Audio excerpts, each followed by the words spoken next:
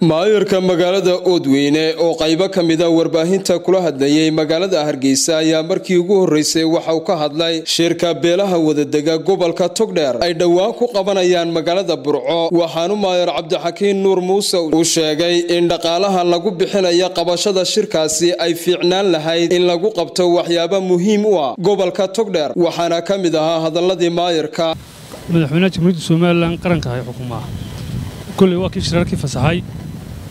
shirkiina horumarka somalilan waxtarayana waa caadi. Shirkii caqabad somalilan ku hayana maanta kharashka ku baxaya in amseejiyo iskuulle la geliyo. Ayaan runtii aanu ka doorbidayaa bulshadani maanta australiatan sanay jirtaa sidii maanta bulshadan ay adeeg bulsho loogu heli lahaa.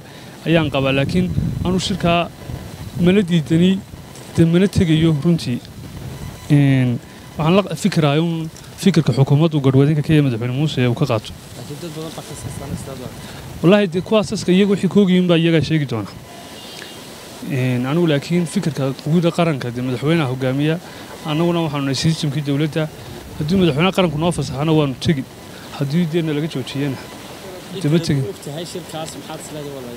wallaahi anigu shirkaa wax war oo aan ka sii hayo gudadhaca laba beelood baa shiraya ayaa laygu yidhi beelaha galbeedka iyo bariga burco runtii dee iyaga laftigooda way u taallaa in dee nabad iyo horumar ay ka hadlaan. Waxaynu ognahay dagaalo soo noqnoqdo ceelaf weyn ka dhacaya in badan oo labadaa beelood le shirka qabsanayna. Haddii shirkaa nabad iyo walaalnimo dee ay ku wadaan runtii waa maslaxadooda. Haddii wax kale yahayna de runtii waa wax aan dee runtii aan wacnayn oo qarankan iyo dadnimada iyo dalnimadaba runtii ka kornay maanta isjeelaatitirsanay oo loo baahan yahay daaf ka daaf somalilan runtii qacmaha isku wada qabsadaano.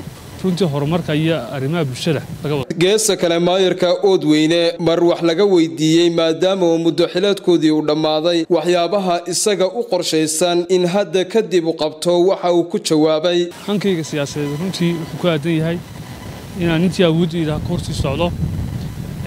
Halkaan aan ka soo bilaabayna waa shaqadii halkii laga bilaabo shaqa dowladeed wala dowladaha hoose waxaan ku guulaystay intii aan joogay waddooyin aanay horey oodweyne u lahaynoo laamiyaa inaan mariyo dhismayaal badan oo biliclaa inaan oodeyna ka dhiso xarumo badan oo dowlad waxbarashada iyo adeegga bulshada inaan ka samayno hankayga waa wasiir iyo wixii ka sii sareeya shaal maxamed cumar daare star t v hargeysa